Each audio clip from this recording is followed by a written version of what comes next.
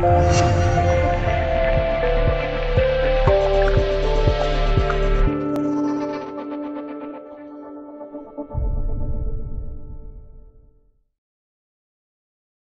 爱沙尼亚、拉脱维亚以及立陶宛三个波罗的海国家相继加入北约后，由于并没有合适的战斗机执行波罗的海的巡航任务，因此北约其他国家空军轮流承担了波罗的海领空的执勤。据俄罗斯卫星社八月八日最新消息，八月七日，西班牙空军一架台风战机从立陶宛佐科尼亚伊机场起飞。在波罗的海展开正常执勤，但是该架战机在进入爱沙尼亚南部领空后，一枚 AIM 幺二零美制空空导弹不知缘故突然发射。据悉，该架战机当时处于六千米的高空，且距离俄罗斯边境较近。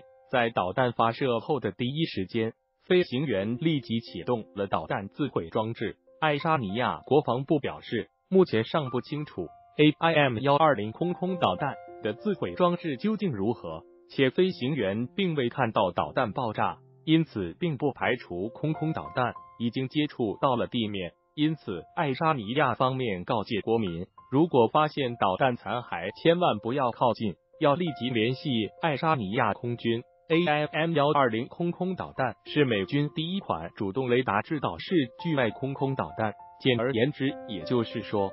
飞行员在空战空发射该枚导弹后，就完全不理会，将由雷达自动跟踪，从而打击目标。西班牙空军在发生此次误射事件后，已经停止了继续在波罗的海执行飞行任务。在未查明事件原因的情况下，将由葡萄牙空军代替执行。爱沙尼亚空军参谋长表示，此次事件发生还属于头一次。因此，目前谈论如何处罚飞行员还为时尚早。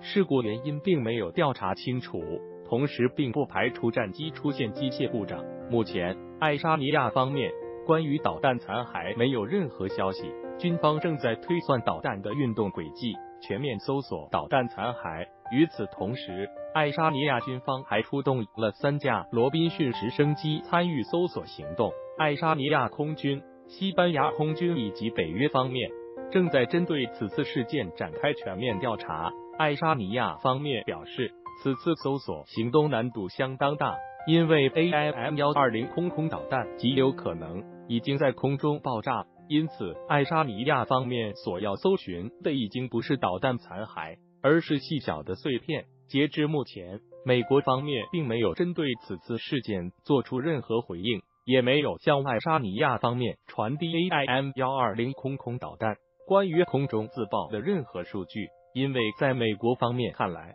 ，AIM 幺二零空空导弹性能稳定。此次事件的起因无疑有两种，首先便是西班牙飞行员失误操作导致出现误射，而另一方面则是欧洲台风战机出现机械故障，与美国生产的 AIM 幺二零空空导弹性能没有任何关系。